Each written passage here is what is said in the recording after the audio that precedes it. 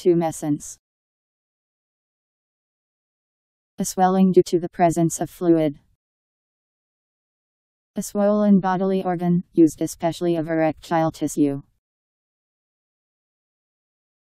T U M E S C E N C E Tumescence